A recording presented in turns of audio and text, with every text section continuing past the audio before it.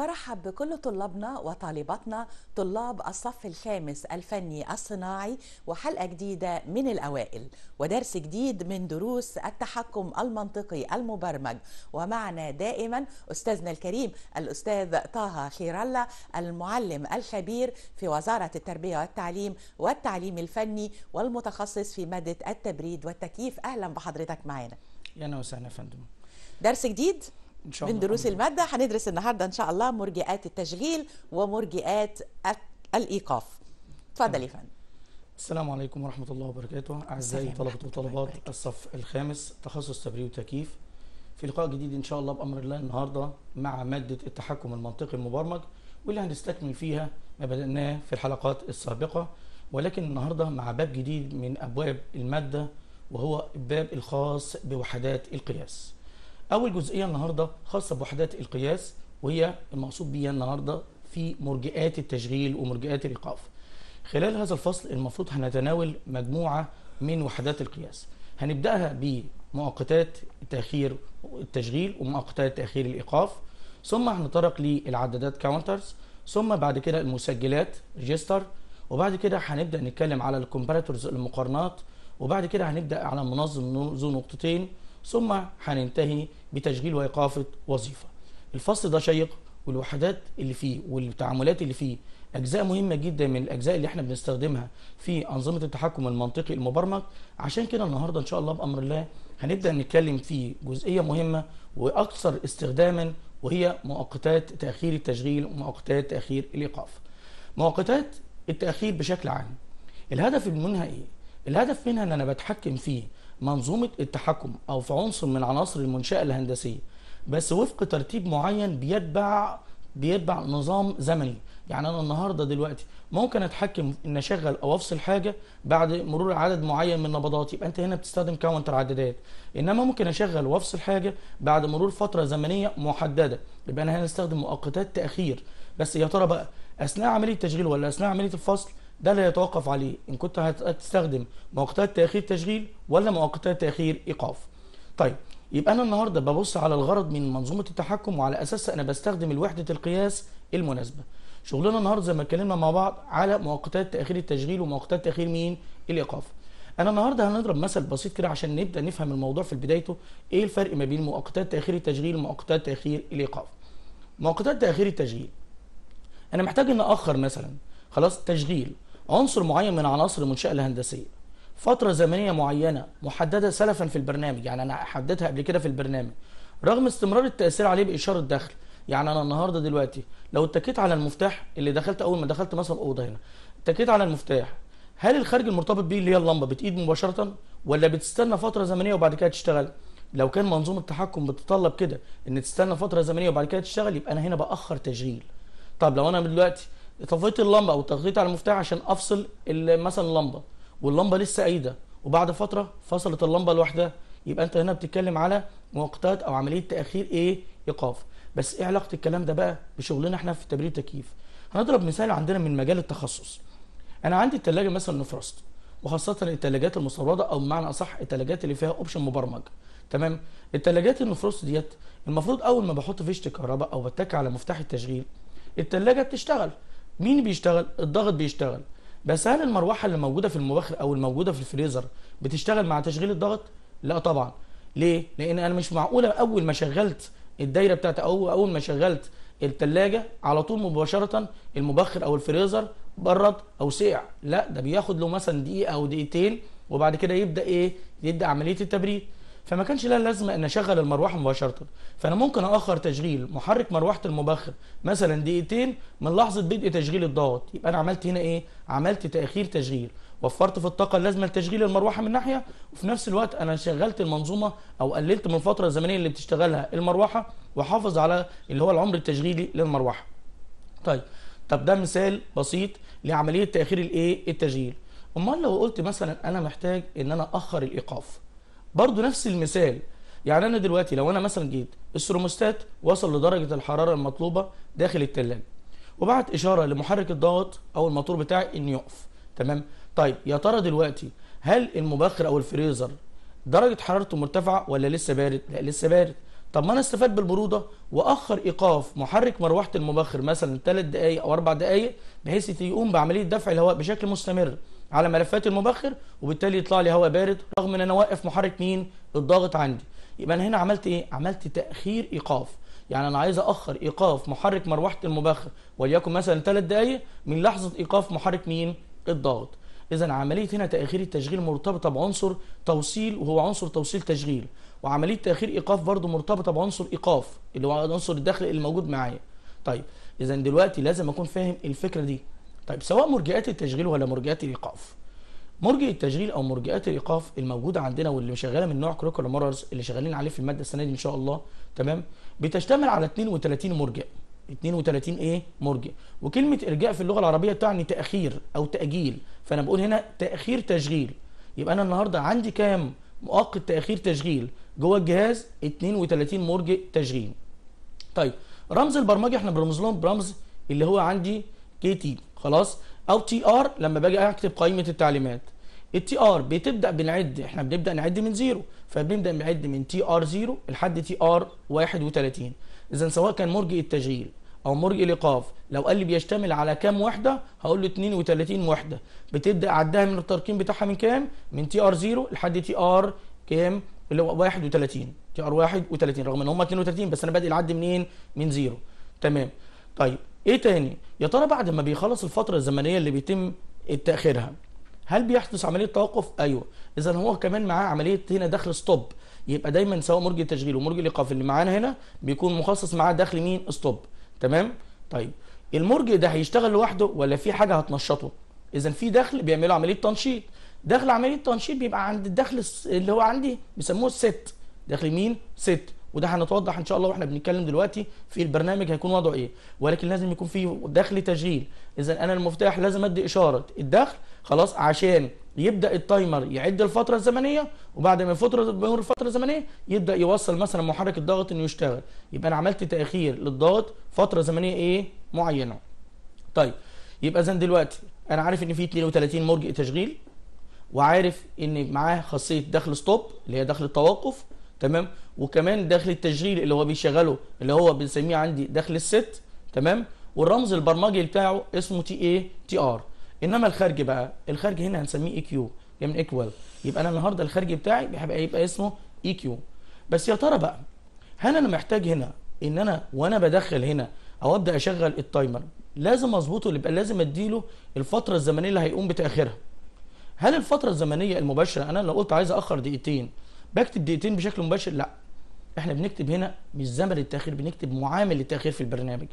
طب معامل التأخير إيه علاقته بزمن التشغيل؟ خلاص زي ما هنشوف مع بعض كده العلاقة ديت واللي بتتوضح معايا في المرجئ اللي معانا عبارة عن إيه. لو جينا نبص كده مع بعض قال لي بيقول لي دوائر التأخير اللي هي delay circuits دي بتستخدم مؤقتات تأخير التشغيل بسموها on delay timers وكذلك مؤقتات إرجاء الإيقاف اللي بنسميها off delay timers خلاص لتنظيم عمل عناصر منشأة هندسية معينة بحيث بتتبع نظام تشغيل بيتوافق مع تتابع العمليات الصناعية المستهدفة. بس طبقا لإيه بقى؟ طبقا لبرنامج زمني محدد سلفا. يعني لازم أكون كاتب هنا الفترة الزمنية الموجودة عندي في البرنامج قبل كده. تمام؟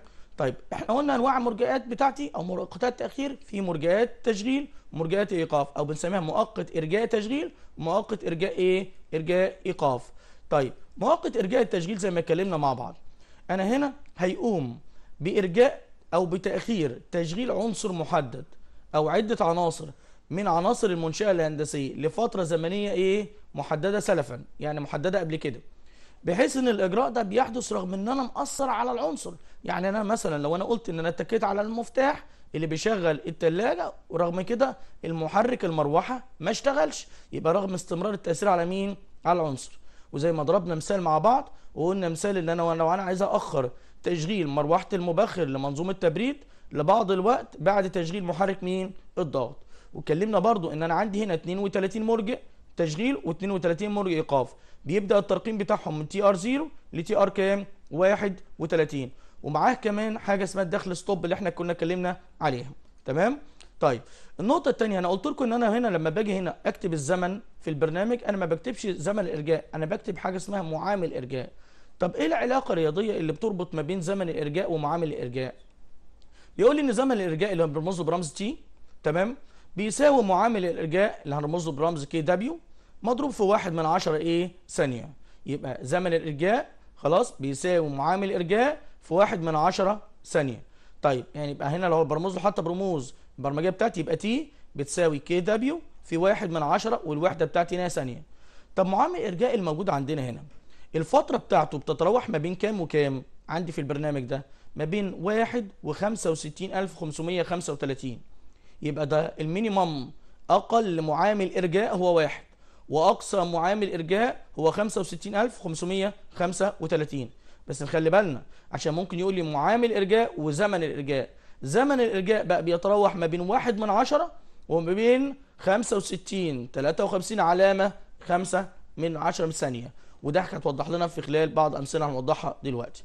طيب يبقى بص معايا كده القانون أهو زي ما قلنا مع بعض. ال T بتساوي delay factor اللي هو معامل إرجاء مضروبة في واحد من عشرة إيه؟ ثانية second تمام؟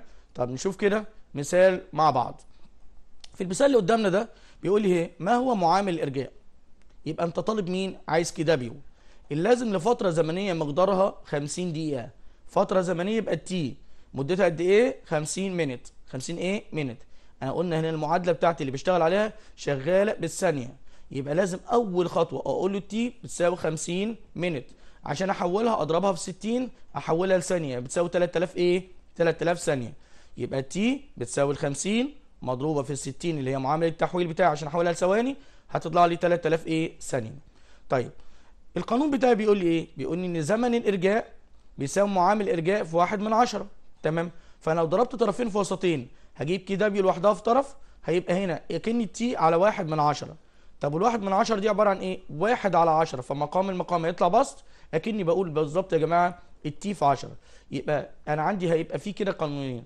لو أنت عايز الزمن الإرجاء اللي هو T يبقى بتساوي KW في واحد من عشرة second لو أنت عايز ال KW يبقى بتساوي ال T في عشرة بس هنا بقى الوحدة بتاعتي مش ثانية. هتبقى الوحدة بتاعتي حاجة اسمها KW factor معامل الإرجاء. طيب إحنا كنا دلوقتي جبنا الزمن بتاعي ب 3000 ثانية يبقى 3000 لما اضربها في 10 هيطلع معايا 30000 KW factor. اذا معامل إرجاء 30000 KW إيه factor. طيب نخلي بالنا لأنه ممكن بيبدأ يشتغل معايا في بعض الدوائر أو في بعض المسائل في الامتحانات وبيبدأ يشتغل على جزئية تانية. يعني ممكن يقول لي مثلا احسب زمن الإرجاء خلاص أو احسب معامل إرجاء لفترة زمنية مقدارها ساعة الا ربع. يبقى أنا لازم أكون عارف الساعة الا ربع دي 45 دقيقة. فلازم بعد كده بحولها لعندي لإيه؟ لثواني. تمام؟ فما أضربش ما أقولش إن أنا النهارده لا ده ساعة الا ربع يبقى 75 من 100 لا. لما أقول لك ربع ساعة تقول لي ده 25 من 100 لا. خلاص؟ يبقى أنت النهارده ال 25 100 ما تقولش 25 100 الربع ساعة بالنسبة للزمن لأن الزمن عندك أنا مش 100% ده أنت عندك 60 إيه؟ بيعتبر المعامل عندي التحويل عبارة عن 60 سواء كنت بحول بقى من دقايق لثواني خلاص أو من دقايق لساعات فالمعامل عندي كام؟ 60 فبالتالي لما أجي أتعامل أخلي بالي أخلي بالي يقول لي مثلا احسب معامل إرجاء لفترة زمنية مقدارها ربع ساعة يبقى ربع ساعة دي عبارة عن إيه؟ عبارة عن 15 دقيقة. يبقى أضرب ال 15 في ال 60 وأحولها لثواني. تمام؟ لو قال لي مثلا نص ساعة يبقى 30 دقيقة. أضرب ال 30 في 60 وأحولها برده لإيه؟ ثواني وأبدأ أعوض في القانون بتاعي. تمام؟ يبقى ما اخلي بالي من الجزئية دي لأن كتير جدا من الأخطاء بنلاقيها في بعض الناس في الامتحانات. فاهم إن كلمة ربع يعني 25 من 100 فاهم إن كلمة نص يبقى 5 من 10 لا هنا في التعامل مع الزمن العملية بتختلف. التعامل مع الزمن العملية إيه؟ بتختلف. لو أنا همشيها صح بكلمة نص وربع يبقى لازم أضربها في 60 عشان أظبط المعامل بتاعي. ولكن هنا أبقى عارف. أنا عارف هنا الأزمنة تبقى واضحة. ربع ساعة كام دقيقة؟ نص ساعة كام دقيقة؟ ده مثلا 3 أرباع ساعة أو ساعة إلا ربع كام دقيقة؟ ساعة إلا تلت كام دقيقة؟ أبقى فاهم الحتة دي كويس جدا. تمام؟ طيب لو إحنا جينا بقى بصينا كده على مثال تاني تمام؟ شوف كده بيقول لي إذا كان معامل ارجاء بيتراوح ما بين 1 و 65535 فما هو أقصى زمن ارجاء بيكون قابل للانضباط؟ إحنا قلنا تاني كده معايا انت قلت إيه؟ معامل ارجاء يبقى دي القيم ديت بتاعت كي دبليو. يبقى كي دبليو بتساوي بيتراوح من كام لكام؟ من 1 ل 65535 يبقى الواحد ده ال KW minimum طب وال 65000 ده 535 ال KW maximum طب هو عايز إيه؟ هو بيقول لي دلوقتي المطلوب احسب أقصى زمن إرجاء يعني عايز ال T maximum فبالتالي طالما عايز ال T maximum هجيبها عندي مين؟ عندي ال KW maximum يبقى في بداية الأمر بقول له إن T اللي هو زمن الارجاء بيساوي KW في واحد من 10 ثانية. طب أنا عايز مين؟ عايز أقصى زمن إرجاء يبقى T maximum بتساوي إيه بقى؟ ال KW maximum اللي هي بكام؟ ب 65535 في واحد من إيه؟ في واحد من 10 هيديني معايا اللي هي 6556 و5 من 10 ثانية. طب هو ما حددليش في المسألة إن كنت عايز زمن الإرجاء ده بالثواني ولا بالدقايق والساعات؟ عشان أمسك دايما العصاية من النص أنا أجيبه بالثلاث وحدات. طب القانون طلعه لي بالثانية. لو أنا عايز أحوله لدقيقة يبقى بضرب هنا بقسم الأول اللي هو 6553 و5 من 10 على 60 هيديني قيمة 109 و225 من 1000 إيه دقيقة. طب عايز أحولها كمان لساعات. طيب هقسم تاني على 60 تمام؟ هيديني 1 و82 من 100 ساعة.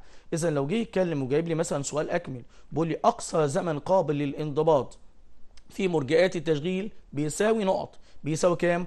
واحد علامة 82 من 82 من 100 ساعة أو أقول له 109 و225 من 1000 دقيقة أو أقول له 6556 و5 من 10 ثانية. تمام؟ يبقى إحنا كده اتعرفنا. مسألة كتير جدا ما بتيجي في الامتحانات. وركز على المسألة دي. تمام؟ معامل الإرجاء وزمن الإرجاء. هي علاقة واحدة ببقى عارف الشغل بتاعي. يبقى T بتساوي KW في 1 من 10 ثانية أو لو كان عاوز هو معامل إرجاء يبقى KW بتساوي ال T في 10 خلاص؟ وكل خلي بالي من حتة التحويلات الموجودة عندنا. طيب الشكل اللي قدامنا ده بيوضح المخطط الزمني لمرجئ التشغيل. وإيه العلاقة اللي تكون ما بين الدخل والخارج؟ أنا بالنسبة لي الدخل التشغيلي اللي بنسميه عندي set اللي هو عند رمز S ده. طيب والخارج المرتبط بيه اللي هو ال equal اللي هو ال AQ وده دخل التوقف اللي عندي اللي هو ال stop دخل التوقف اللي عندي اللي هو الايه ال stop إيه اللي بيحصل في الإجراء؟ أنا النهارده قلنا لما أجي مثلا اضغط على مفتاح تشغيل أو على دخل معين اللي هو دخل ال set بيبدأ هنا يتغير هنا الدخل بتاعك من low level ل high level يعني بيتم توصيل كهرباء أو بيبقى نشط من low level ل high إيه level في نفس اللحظة دي هل الخارجي اللي عندي ال AQ اشتغل؟ لا ما اشتغلش. ما اشتغلش إيه؟ أمال إمتى بيشتغل؟ بعد مرور فترة زمنية اللي أنا ظابط عليها المرجئ. خلاص؟ اللي هي بنسميها عندي ال time delay on اللي هي فترة تأخير الايه التشغيل. فترة تأخير التشغيل ديت بعدها بعد مرور الفترة دي بيبدأ الخارجي بتاعي ينشط. بيبدأ الخارجي بتاعي إيه؟ ينشط. يعني بعد ما وصلت أنت الدخل الخاص بالثلاجه بيقعد مثلا تستنى دقيقتين اتنين وبعد كده الخارجي بتاعك بيبدأ إيه؟ يبدأ ينشط. اللي هو خارجي مين بقى؟ اللي هو قلنا خارجي الضغط. يبدأ الضغط أو محرك مروحة المبخر محرك مروحة المبخر بتبدأ تشتغل. لحد ما يجي أفصل الدخل بيفصل الدخل بترجع من لو high level لل low level أهوت. تمام؟ هو كمان الخارجي بيفصل ويفصل عندك ويتوقف من high level لايه low level طيب اذا الفترة من لحظة تشغيل دخل ما كهربيا وتشغيل خارج ما مرتبط بيه بنسميها اللي هي زمن تأخير التشغيل زمن تأخير الايه التشغيل. أمال إيه الرموز اللي مكتوبة قدامي على الرسم؟ اللي هي T 1 و T 2 و TS طب T 1 و T 2 ده يا جماعة بتمثل معايا زمن تأخير التشغيل اللي أنا كاتبه في البرنامج. امال TS ده ده دخل stop. يعني أنا مثلا لو كان عندي مثلا ال timer بتاع الثلاجه ظبطه على ست ساعات تشغيل. الست ساعات تشغيل فعلي دولت المفترض إن بعد ما بظبط ال timer بعد ست ساعات تشغيل فعلي عشان يعمل إيه؟ عشان يبدأ هنا يشغل الثلاجه يوصل مرحلة التبريد وكل ست ساعات هوقف دايرة التبريد وأشغل دايرة السخانات عشان أعمل اذابه للصقيع أو اذابه للتلج الموجود على ملفات الفريزر أو المبخر. تمام؟ طيب ال timer في الحالة دي بتيجي بعض الفترات يجي فيها السيروموستات يقوم جاي فاصل. السيروموستات لما بيفصل بيفصل ال timer فال timer بيتوقف عن العد. أو جت الكهرباء قطعت قطعت دقيقتين ثلاث دقائق في الآخر. هل يا ترى فعلا عملية اذابه الصقيع بتتم بعد ست ساعات تشغيل فعلي أو ست ساعات تشغيل؟ لا. بتبقى الست ساعات اللي أنا كاتبهم في البرنامج وضايف عليهم أزمنة التوقف اللي حصلت سواء كان أثناء فصل التيار الكهربي خلاص أو توقف السيروموستات لمحرك الضغط تمام؟ اذا دلوقتي قد يزيد اللي هو زمن التأخير اللي أنا كاتبه في البرنامج بمقدار زمن الدخل stop. طيب نبص كده في الرسم اللي إحنا قلنا عليه ونشوف. الدخل stop أهو. تمام؟ دخل stop اللي عندي ده كده ده جه في لحظة من اللحظات نشط. في اللحظة دي كانت الفترة الزمنيه بتاعتها كانت قد إيه؟ كانت TS T stop. اذا الفترة دي هتزيد على قيمة اللي هي T 1 و T 2 وبالتالي زمن التأخير الكلي هيبقى بيزيد بمقدار الدخل مين؟ ستوب طيب يبقى أنا النهارده لو وصلت تاني عشان نبص بقى الرسم مخطط الزمني أو مخطط الحالة عند توصيل دخل الماء كهربيه خلاص بيمر بعد مرور فترة زمنية معينة بينشط الخارجي المرتبط بيه وعند فصل الدخل بيتم فصل مين؟ الخارجي والفترة ما بين لحظة تشغيل الدخل ولحظة تشغيل الخارجي المرتبط بيه تسمى زمن تأخير الإيقاف. وفي بعض الأوقات بيزيد زمن تأخير الإيقاف ده بمقدار الدخل مين؟ الدخل ستوب اللي عندنا في الرسم ده. تمام؟ إذا لو قال لي وضح مع الرسم مخطط الحالة لمرجئ تشغيل هرسم الرسمة دي خلاص واشرح الكلام اللي إحنا قلناه. تمام؟ طيب تعال نشوف كده مثال على مرجئات التشغيل وشكل مرجئ التشغيل بيكون عامل إزاي. أنا عندي مبدئيا الرمز الكهربي لمرجئ التشغيل بيبقى واخد شكل المستطيل اللي أنتم شايفينه ده اللي مقسوم نصين نصه اليسار كده معمول علامة X خلاص الموجود عندي. أول ما بشوف الشكل ده في دايرة كهربية أعرف إن ده مرجئ تأخير تشغيل. مرجئ تأخير مين؟ التشغيل. طيب يبقى الرمز بتاع مرجئ تشغيل تأخير التشغيل بياخد الشكل اللي إحنا قدامنا ده. طب يا ترى النص اللي بيكون مكتوب عليه في بعض الدوائر الكهربائيه بيكتب KT contactor timer خلاص؟ أو برموز برمجية أحيانا يرمزوا ب TR اللي هو timer relay timer إيه relay تمام؟ طيب يا ترى هنا ده المرجئ المرجئ ده في حاجة لازم تشغله. أمشي الخط هنا معايا اللي قبله مباشرة ده المفتاح اللي بيعمل له عملية تشغيل set يبقى المفتاح اللي بيعمل هنا set أو تشغيل لل timer ده هو I 0 0 I 0 إيه 0 طب أمال الطرف الثاني ده إيه؟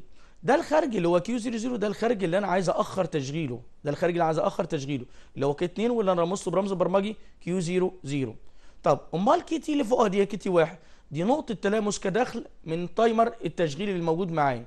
بحيث إيه اللي هيحصل؟ اللي بيحصل دلوقتي إن الطريق أو التيار الكهربي لما يجي ينضغط على المفتاح أي واحد هيجي له طريقين اتنين. لو جه مر مباشرة في الطريق اللي رايح ل KT 1 لمرجئ تشغيل هيوصل تيار لمرجئ تشغيل.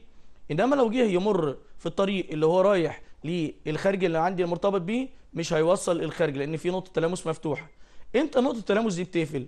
لما بوصل هنا المرجئ بيعد فترة زمنية معينة وبينشط. لما بينشط بيدي إشارة لنقطة التلامس دي فبتقفل.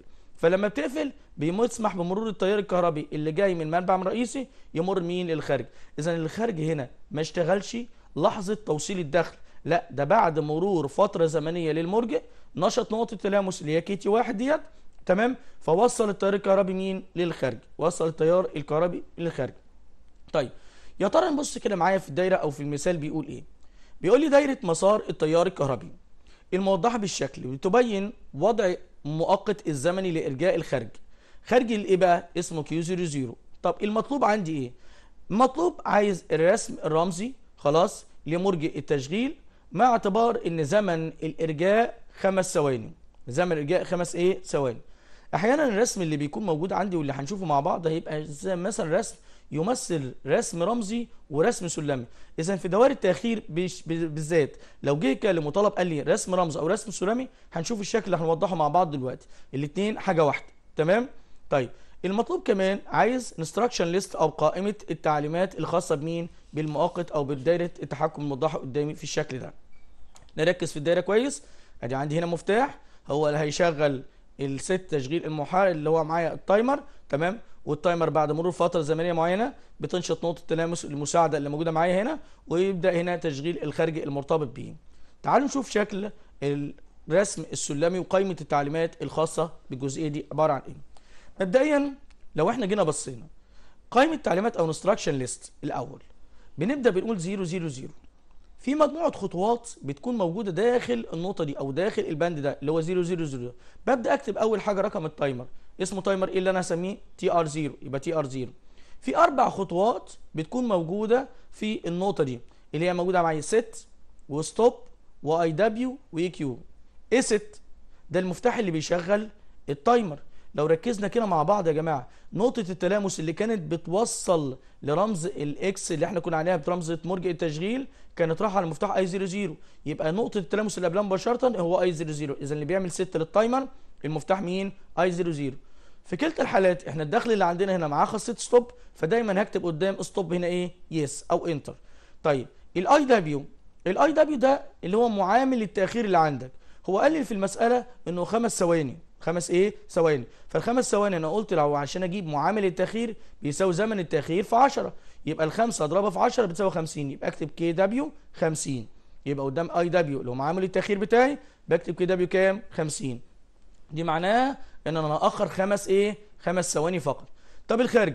يا ترى الخارج اللي هيشتغل بعد مرور فترة زمنية معينة اسمه إيه؟ اسمه Q 00 طيب 0 0 1 اذا كل الخطوات دي يا جماعة في البند الأولاني اللي هو 0 0 إيه؟ 0 فقط. تمام؟ لو في بقى جزء ده مؤقت ده جزء من دايرة التحكم موجودة معايا خلاص يبقى الخطوة اللي بعدها بقول next instruction أو التعليمات اللاحقة أو التعليمات اللي بعد كده. تمام؟ طيب أنا بمثل الرمز من رمزي أو رسم السلمي خلاص لمرجئ التشغيل ده إزاي؟ زي المخطط السلمي اللي كنا بنشتغل عليه عادي. الخطين الراسي الموجودين معايا واللي هوصل بيه طب الرمز ده عبارة عن إيه؟ مستطيل برسمه بالشكل اللي شايفينه ده كده. فوق بكتب اللي هو رقم ال timer TR 0 أول ثلاث خطوات اللي هي set و stop و IW ناحية اليسار كده خلاص اللي هو set stop IW إنما الخارج دائما ناحية اليمين اللي هو EQ بقوم عامل EQ ناحية الايه اليمين وأجي بقى أبدأ أشوف. يا ترى set مين اللي بيعمل set؟ مين اللي مكتوب قدام set في قائمة التعليمات؟ I 00 مش ده مفتاح؟ أيوه مفتاح. فأقوم راسم هنا الرمز السلمي الخاص بالمفتاح I 00 وده normal open وأقوم كاتب فوق I 00 طب الخاصية هنا بالنسبة لل stop نشرة yes آه. فبقوم واخد خط كده ممكن أكمله الآخر أو آخد نص الخط كده وأكتب جنبه كلمة yes طب ال IW اللي هو معامل التأخير بتاعي.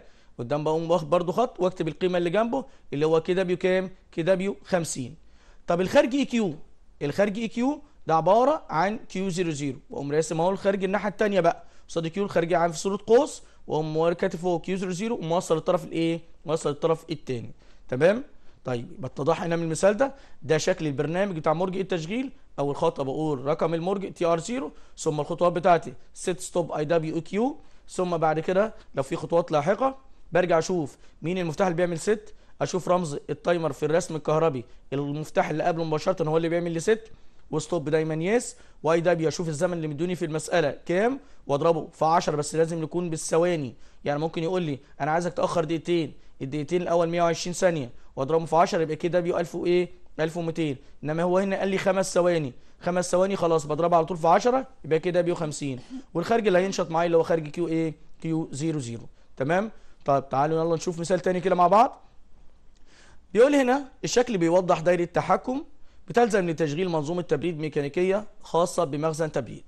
دائرة التحكم بيلزم أن ترجئ تشغيل محرك مروحة المبخر 20 ثانية بعد لحظة بدء تشغيل ضاغط التبريد الخاص بالمخزن. وبرضه زي ما قلنا مع بعض طالب حاجتين كتابة قائمة تعليمات البرنامج وهنا كاتب الرسم السلمي فعشان كده قلت لكم الرسم السلمي والرسم الرمزي في دوائر التأخير هما الاثنين حاجة واحدة. هما الاثنين حاجة إيه؟ حاجة واحدة. تمام؟ طب نبص كده بقى في دايره الكهربائية وال electric circuit اللي قدامنا. نفهم الأول الدايرة الكهربائية. ده مفتاح تشغيل start switch بعد كده بيبقى في عندي high pressure بعد كده في overload في ثم في سيروموستات انت عرفت الكلام ده منين؟ الرموز اللي قدامي بتكون موجودة. يعني لو عندي هنا مفتاح وضعه normal open ومش كاتب أي حاجة عليه خلاص يبقى ده أنا بعتبره مفتاح تشغيل. start switch لأن لو ضغطت عليه هيوصل. تمام؟ طيب لو لقيت هنا كلمة اللي هو مثلا أشوف شكل المربع أو المستطيل اللي في المفتاح والمفتاح ده وضعه normal close خلاص؟ ومثلا ممكن الاقي اتش بي أو بي اتش مثلا ده اللي هو ال high pressure high إيه؟ high pressure تمام؟ طيب أما بص بس ده الاقي مفتاح normal close في علامة الحرارية اللي إحنا شايفينها كده مع بعض ديت يبقى أنا عارف إن ده رمز overload over إيه؟ overload برضو نفس الكلام بس هنا مفتاح normal open مع مستطيل وكاتب جنبه TH TH اختصار كلمة thermostat thermostat طيب ال K واحد اللي هو بمثابه محرك الضغط تمام؟ طيب يبقى انت النهارده لو ضغطت على مفتاح اللي هو S 0 هيمر تيار كهربي لمحرك الضغط شرط إن يكون السيرموستات موصل. طب بعد ما يبدأ يشتغل محرك الضغط يبقى نقطة تلامس K واحد اللي هي بالتعويض الناحية الثانية في الطرف الثاني ده هتوصل. فهتقوم بتوصيل مين؟ ال timer. إذا ال timer مش هيبدأ يعد إلا لما يتأكد إن الضغط بتاعه إيه؟ الضغط بتاعي اشتغل. تمام؟ طيب الضغط بتاعنا بدأ يشتغل ال timer بدأ يعد. ال timer لما يعدي الفترة الزمنية اللي هي 20 ثانية خلاص هيبدأ تنشط نقط التلامس المساعدة اللي هي قدام اللي KT واحد اللي في الطرف الآخر ديت هتقوم بتشغيل محرك مروحة مين؟ المبخر يبقى أنا أخرت محرك مروحة المبخر فترة زمنية مقدارها 20 ثانية من لحظة بدء تشغيل محرك مين؟ محرك الضغط بتاعي. تمام؟ طيب يبقى أول خطوة المفترض أنا بعملها يا جماعة بقوم جايب الرموز الكهربية ديت محولها لرموز بر- برمجية. يعني بفرض مثلا S 0 وليكن I 0 0 S مثلا S PH ده خلاص وليكن I 0 1 أو ال مثلا ده وليكن I 0 2 ال TH I 0 إيه 3 ال K 1 Q مثلا 0 0 أو Q 0 1 زي ما بفرض. تمام؟ ده برضو K 1 يبقى برضو Q 0 0 ال KT دي 1 اللي هي تي ار اي تي ار 0 كي تي تي ار 0 طب ال K 2 يبقى Q 0 1 كنت أنا فرضت Q 1 Q 0 0 يبقى K 2 Q 0 إيه؟ 1 طيب تشوف الرموز زي ما إحنا فرضنا كده مع بعض أهوت. خلاص كل تلامسات الدخول اللي فرضناها هنفرضها I 0 0 I 0 1 I 0 2 I 0 3 على الترتيب. طيب والخارجين اللي عندي خارج الضغط اللي هو Q 0 0 خلاص والخارج الخاص بمحرك مروحة المبخر Q 0 إيه؟ 1 إنما رمز ال timer هرمز له ده برمز اللي هو TR إيه؟ TR 0 شوف كده أول طلب موجود معايا قائمة التعليمات. تمام؟ قائمة التعليمات اللي عندي. لو إحنا جينا بصينا أول هنا مجموعة مفاتيح اللي في الأول اللي كانت متوصلة توالي هحمل المفتاح I 0 0 and I 0 1 and I 0 2 and I 0 3 بتساوي Q 0 0 الله انت بتجيب الكلام ده إزاي؟ ده انت لو جيت بصيت كده حضراتكم معايا للجزئية اللي فاتت ديت أو الرسم الكهربي اللي عندي ده تمام؟ هبص على الرسم الكهربي ألاقي إيه؟ ألاقي كان في أكتر من مفتاح normal close جميع الدوائر اللي هنشتغل عليها في الباب ده بأمر الله هتشتغل على التشغيل الآمن. والتشغيل الآمن بيعني إيه؟ أي مفتاح حماية هيكون موجود عندي في الدايرة normal close هضعه في البرنامج normal إيه normal open يبقى أول حاجة هنقول هنا load I 0 0 and I 0 1 and I 0 2 and I 0 3 بتساوي Q 0 0 تمام؟ طيب هنا بقى الجزء اللي فاضل ده ده الجزء ده على بعضه اللي لسه عاملينه من شوية اللي هو الرمز الخاص أو الجزء الدايره الكهربائيه الخاصة بالمرجئ بتاعي. يبقى أنا هقوم محمل بعد كده TR 0 خطواتها إيه؟ set stop IW IQ set واحدة واحدة. فين رمز هنا؟ رمز كهربي اللي هو KT ده. مين المفتاح اللي قبلك مباشرة؟ اللي هو K واحد. اللي اسمه إيه؟ Q 0 0 يبقى اللي هيعمل لك set هو Q 0 0 خلاص؟ وقلنا stop yes طب الاي دبليو الاي دبليو ده الزمن بتاعك. أنت بتديني هنا في المسألة على كام ثانية؟ 20 ثانية.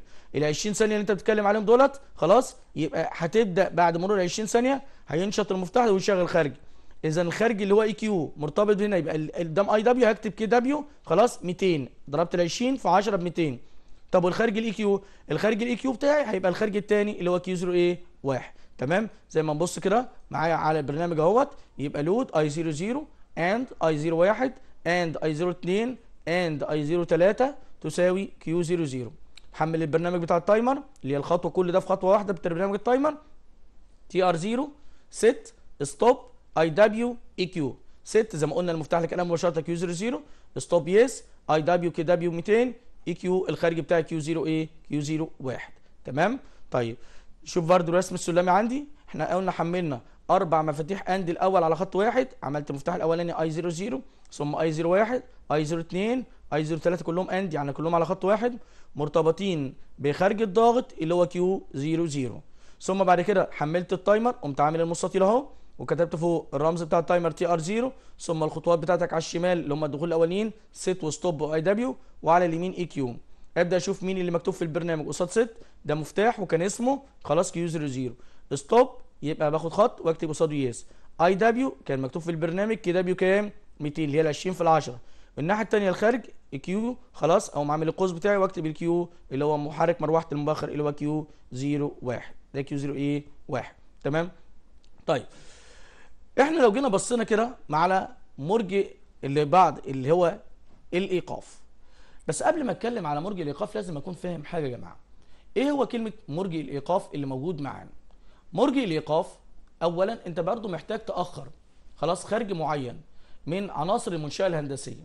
خلاص؟ فترة زمنية معينة من لحظة إيقاف محرك معين أو محرك الضغط. أنت عايز تأخر. إذا لو جينا بصينا في بعض البرامج لما بيجي نشتغل على بعض برنامج وليكن مثلا برنامج زيلو اللي هنشتغل عليه إن شاء الله في الجزء الخاص بالعملي تمام؟ طيب البرنامج ده ممكن تختار مرجئ التشغيل ويقوم بدور مرجئ الإيقاف. بس بتعمل إيه بقى؟ بتخلي الخارجي بتاعك منفي. خلاص؟ أو الخارجي سالب إذا لو جاب لي سؤال وقال لي مرجئ الإيقاف ما هو إلا مرجئ التشغيل سواء إن الخارجي منفي. خلاص سواء إن الخارجي إيه؟ منفي. ده لو جملة بيقول لي حتى صح وغلط صح. لكن لو عكس الكلام خلي بالكم. خلاص يعني لو قال لي مرجئ الإيقاف ما هو إلا مرجئ تشغيل سواء إن الخارج منفي. لا غلط. تمام؟ يبقى النهارده الإيقاف هو اللي ممكن يشتغل مرجئ تشغيل بس أنفي الخارج. أنفي مين؟ أنفي الخارج بتاعي. تمام؟ يبقى لما يقول لي عرف أو يجي يقول لي مثلا ما المقصود بمرجئات الإيقاف هقول له مرجئات الإيقاف ما هي إلا مرجئات تشغيل سواء إن الخارج بتاعها بيكون سالب أو الخارج بتاعها بيكون إيه منفي. طب لو حابب تشرح أكتر وتفسر أكتر يبقى أنا هأخر إيقاف. خارج معين خلاص من الدايرة بتاعتي فترة زمنية بعد إيقاف مثلا دخل معين مرتبط إيه؟ مرتبط بيه فترة زمنية معينة. طب هيتوضح لي الكلام ده أكتر من خلال مخطط الحالة اللي هنشوف مع بعض على الشاشة ده. تمام؟ طيب نيجي نبص كده مع بعض. أول حاجة أنا الدخل اللي إحنا قلنا في البرنامج بتاعي فيه دخل ست وفي خارج مرتبط بيه اسمه EQ تمام؟ والدخل stop اللي في المنتصف ده تمام؟ نيجي نبص كده معايا. أول ما بشغل الدخل يعني اتغيرت من low level ل high level إيه اللي حصل للخارج بتاعي؟ برضو الخارج اشتغل. يعني أول ما اتكيت على وليكن يا جماعة على المفتاح بتاع تشغيل اللمبة خلاص اللمبة قادت تمام؟ لكن أول ما هنا فصلت المفتاح بص تاني للدخل set. عملت هنا اتغير هنا من high level ل low level يعني فصلت الدخل. هل الخارج فصل؟ لا ما فصلش. الخارج تناه شغال فترة زمنية معينة وبعد كده فصل. الفترة بقى من لحظة إيقاف دخل ما كهربيا اللي هو ال set. وإيقاف خارج ما مرتبط بيه اللي هو نهاية ال EQ الفترة الزمنية ما بين ده وده بنسميها زمن تأخير الإيقاف. زمن تأخير الإيه؟ الإيقاف. طب زمن تأخير الإيقاف اللي هو ال time delay اللي هو off. طيب الفترة دي بقى بنمثلها على مقدار الدخل stop أو موجودة على منحنى الدخل stop. يبقى المنحنى الخاص بالدخل stop دي الفترة دي منين؟ من لحظة إيقاف الدخل ولحظة إيقاف الخارج المرتبط بيه. خلاص؟ يبقى بقوم عامل دي الفترة دي بيبقى نشط فيها الدخل مين؟ stop عندنا. تمام؟ أيوه يبقى اتعرفنا لو قال لي وضح مؤقت أو مخطط الحالة أو المخطط الزمني الخاص بمرجئات الإيقاف هرسم الرسمة اللي قدامكم ديت ده الدخل set وده خارج مرتبط بيه EQ وده الدخل stop دخل التوقف. أول ما بوصل الدخل الخارجي بيوصل. أول ما بفصل الدخل الخارجي بينتظر فترة زمنية عدة فترة زمنية مكتوبة في البرنامج وبعد كده بإيه؟ بيفصل. طب الفرق ما بين الاثنين بيمثل هنا على مقدار الدخل stop ويمثل معايا زمن تأخير الإيه؟ الإيقاف. تمام؟ طيب يبقى هو بيقول هنا يجب هنا معاملة مرجئ أو مؤقت إرجاء الإيقاف بنفس الطريقة زي مرجئ إرجاء التشغيل فيما عدا إن الخارج بتاعي اللي هو ال EQ أو الخزن ممكن يكون markers لو أنا برمز له برمز markers لازم يكون إيه؟ سالب أو منفي لازم يكون سالب أو منفي. طيب نشوف الدايره الكهربية الخاصة بمرجئ الإيقاف. مرجئ الايقاف الفرق ما بين الاثنين أنا بعرفهم من الدايرة الكهربية. يعني لو لقيت رمز كاتب لك برده KT واحد والثاني هتلاقيه كاتب عليه KT واحد. لأن قلنا في 32 مرجئ تشغيل و32 مرجئ إيقاف بياخد نفس الترقيم. الرمز الكهربي لو لقيت هنا ده مستطيل والنص الشمال ده متظلل خلاص أعرف إن ده مرجئ إيقاف. لو كان X يبقى ده مرجئ تشغيل. يبقى أول خطوة نخلي بالنا من الدايرة الكهربية. لو حتى هو غلطان فمثلا هو بيتكلم في رأس المسألة بس الرسم الكهربي موضح هنا إن كان في ده X ولا إن كان متظلل؟ متظلل بقى مرجئ إيقاف. X بقى مرجئ مين؟ تشغيل بنفس الطريقة. إحنا قلنا دلوقتي في مفتاح هيشغل المرجئ يبقى في مفتاح بيعمل set. إذا مين اللي بيعمل لك set؟ مرجئ الإيقاف اللي قبل مباشرة اللي هو I 00 طب هنا خدت نقطة التلامس اللي موجودة من ال timer هنا في الطريق الثاني normal close بحيث إن دلوقتي أنا وأنا لسه ما ضغطتش خالص على المفتاح يا ترى الخارجي شغال ولا مش شغال؟ الخارجي اشتغل خلاص؟ يعني أنا أول ما ضغطت على المفتاح I 00 ده عدى تيار كهربي هنا دي لل timer وفي نفس الوقت الخارجي بتاعي شغال لأن التلامس دي normal close تمام؟ فالخارجي بتاعي شغال. لكن هنا خلي بالكم أنا أول ما هفصل المفتاح بيبدأ يعد فترة زمنية. بيبدأ يعد فترة إيه؟ فترة زمنية. وتبدأ النقطة دي تنشط فيبدأ الخارج ده يفصل. إذا مش من لحظة عملية الفصل اللي موجود معايا أنا بيفصل الخارج مباشرة. يبقى ده الشكل الكهربي أو الرمز الكهربي لمرجئ الإيه؟ مرجئ الإيقاف تمام؟ يعني بيقول هنا الشكل بيوضح دايرة مرجئ إيقاف والمطلوب عايز كالعادة عايز رسم المخطط الرمزي للدائرة داخل الدائرة السلمية. خلاص. وقائمة تعليمات مين؟ البرنامج الخاصة بالمؤقت الإيقاف. تمام؟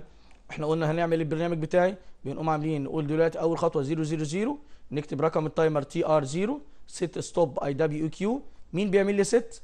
I 00 stop yes IW الزمن اللي هديهولك في التأخير. لو كان خمس ثواني يبقى كده مثلا 50 ثم بعد كده الخارجي بتاعي الخارجي بتاعي ده هيحصل له عمليه إيه؟ هيبقى الخارجي هو Q 00 ولكن لازم يكون إيه؟ منفي. بص كده معايا في الرسم السلمي. أهو اللي إحنا قلنا عليه. الأول إحنا قلنا set ال set stop IW على الشمال. ومين بيعمل لك set قلنا المفتاح I 00 و stop yes و IW قلنا خمس ثواني يبقى KW 50 وهنا الخارج EQ بقى. اللي خارج EQ اللي موجود معايا اللي هو Q 00 طبعا أنا لو ما كنتش حطيت إشارة النفي ديت بقى أكنه بالظبط مرجئ تشغيل. يبقى الفرق بين الرسمة ديت والرسمة اللي فاتت خاصة بمرجئ تشغيل علامة النفي. يبقى هنا مرجئ الإيقاف ما هو إلا مرجئ تشغيل سواء الخارج بتاعي بيبقى إيه؟ الخارج بتاعي منفي. يبقى ده رسم السلمي اللي عندي. طب تعالوا نشوف قائمة التعليمات. قلت 000 TR 0 set I 00 طب stop قلنا يس اي دبليو كي دبليو 50 طب هنا الخارج EQ. ماشي اسمه بس Q 00 لا هقول NOT Q 00 على أساس إن أقول الخارج بتاعي إيه؟ منفي. تمام؟ لو في تعليمات في دايرة تانية أو ده جزء من دايره يبقى next instruction تمام؟ طيب نشوف كده مثال تاني على مرجئات الإيقاف. بيقول هنا بتستخدم غالبا مرجئات الإيقاف في محطات التبريد وتكييف الهواء بغرض رفع الحمل عن الضاغط عند بدء التشغيل.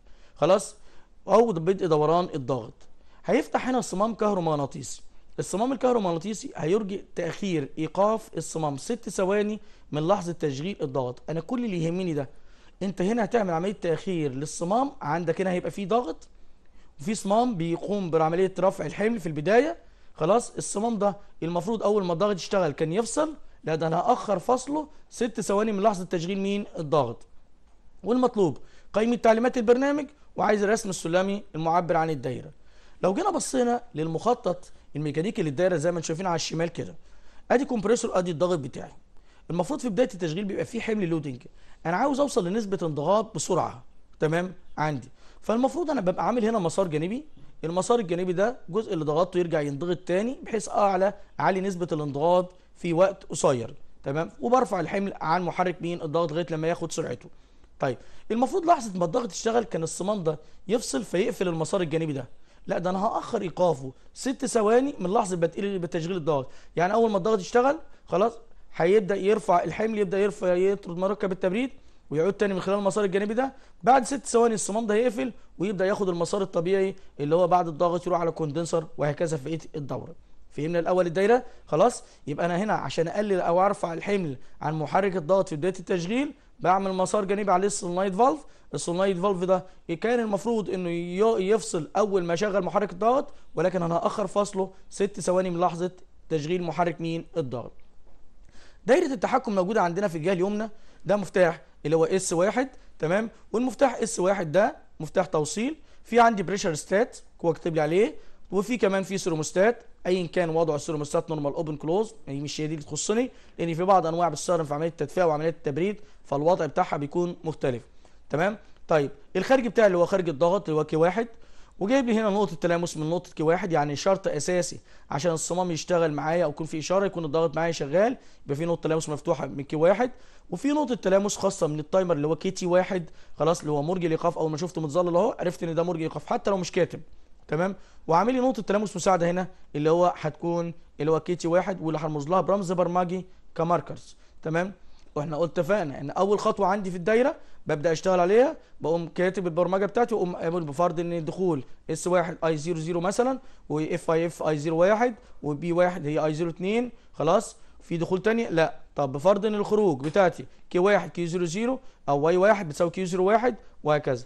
هنا في الحالة دي لأن أنا هاخد هنا ال markers أو باخد منها نقطة تلامس K 1 مع ال solenoid قبل ما أبدأ أتعامل مع مرجي الإيقاف تمام؟ فأنا هعديها رمز هنا برمجي اللي هو M 0 إيه M 00 وبرضه هيكون الخارجي بتاعي بخارج بتاع خارج ال timer هو M 0 0 طب لما نيجي نكتب البرنامج عشان نوضح مع بعض كده تمام؟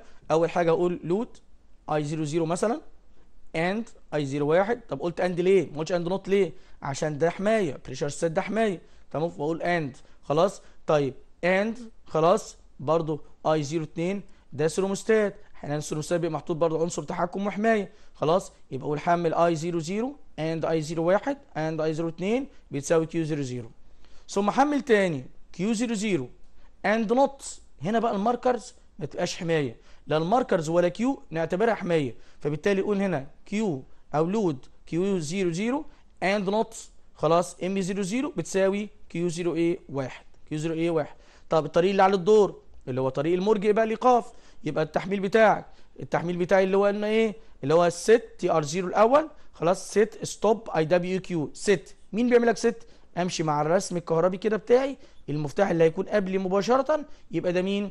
Q 00 يبقى اللي بيعمل set هنا لل timer ده هو Q 00 stop يس IW هو قال لي ست ثواني يبقى كي دبليو كام؟ 60 كي دبليو 60 بعد مرور ست ثواني الخارج بتاعك إيه اللي هينشر بقى الخارج بتاعي؟ هيبقى خارج ال timer نفسه بقى. يعني إحنا خدت ده مرة. خارج ال timer اللي أنا كنت بمثله برمز مين markers اللي هو M 00 تمام؟ طيب يلا نشوف كده اللي إحنا قلناه مع بعض كده. في الدايرة بتاعتي أهي. رفرات الأول الرموز بتاعتي. مفتاح تشغيل عمومي I 00 pressure stat I 01 ال thermostat I 02 ال compressor الضغط اللي هو K 1 Q 00 مرجي الإيقاف رمزته برمز M 00 الصمام الكهرومغناطيسي اللي هو Y 1 مثلته ب Q 0 إيه 1 طيب تاني حاجة instruction list قائمة تعليمات قلنا load I 00 and I 01 and I 02 بتساوي Q 00 لو أنا حبيت أوضح له في المسألة عشان حتى ممكن المصحح ولا حاجة ما ياخدش باله ولا الكلام ده أقوم كاتب هنا قصاد الجزئية دي كده في حالة التشغيل الآمن. خلاص؟ أو في حالة أخذ في الاعتبار عامل الأمان. تمام؟ طيب بعد كده أنت هتاخد الخط الطريق الثاني اللي هو load هيبقى Q 00 and not لأن ده markers خلاص ما يقولوش حماية. تبقى هنا and M 00 خلاص تساوي الخارج اللي هو بتاع الصمام اللي هو Q 0 إيه Q 01 طب الطريق الثاني ده كده طريق ال timer اللي إحنا قلنا عليه. يبقى TR 0 set قلنا مين بيعمل لي set اللي هو K 1 اللي هو بمثابة Q 00 و stop يس و IW اللي هو الخارج بتاعك اللي هو كي دبليو 60 ثم الاي كيو اللي هو مين؟ بتساوي M 0 0 M 0 إيه 0 طب ده كده قائمة تعليمات أو instruction list طب لو عايز أعمل رسم السلمي خلاص أو رمز المنطقي في الرسم السلمي. عبارة عن إيه؟ إحنا قلنا حمل الثلاث مفاتيح دول and بتساوي الخارج. يبقى الطريق الاولاني أهو load I 00 and I 01 and I 02 كلهم على خط واحد بتساوي الخارج في صورة قوس اللي هو Q 0 إيه 0 ثم قلنا في البرنامج load تاني اللي هو Q 0 و0 and not M 00 بتساوي Q 0 إيه 1 يبقى كل دول and على خط واحد. يبقى باخد خط تاني اهو وارسم المفتاح الاولاني واكتب عليه Q 00 والمفتاح الثاني واعمله منفي واقول له M 00 ثم استكمل الخط واجيب الخارج بتاعي اللي هو اللي خارج في قوس اللي هو Q 0 1 اللي هو الخاص بالصمام. بعد كده لما حملت ال timer ال timer كالعادة بعمل مستطيل فوق خالص بكتب هنا رقم ال timer TR 0 طب تحتها على الشمال أول ثلاث خطوات في قائمة التعليمات اللي هم set و stop و IW تمام؟ وعلى اليمين في المنتصف الخارج اللي هو مين؟ EQ تمام؟ طب أرجع تاني اللي مكتوب بقى في قائمة التعليمات. مين بيعمل لي set اللي هو كان ال note تلامس Q 0 0 أقوم راسم مفتاح وكاتب عليه Q 0 0 وموصله بالطرف الثاني طب و stop؟